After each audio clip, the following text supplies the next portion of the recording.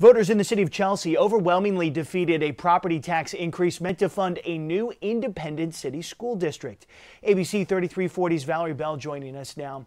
Valerie, the, the Shelby County Board of Education had approved rezoning Mount Laurel School zone students from Chelsea to Oak Mountain. Now, since Chelsea remains part of Shelby County schools, will that rezoning stay in place? Yes, Stephen, the plan is designed to relieve overcrowding. Students have the option to transition immediately or they can wait until next year.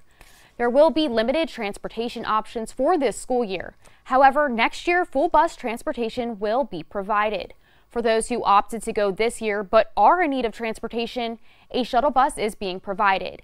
Parents can drop off and pick up students from the new Shelby County Services Building. Again, the rezoning plan was designed to alleviate some of the overcrowding at Chelsea Middle and Chelsea High. Pam?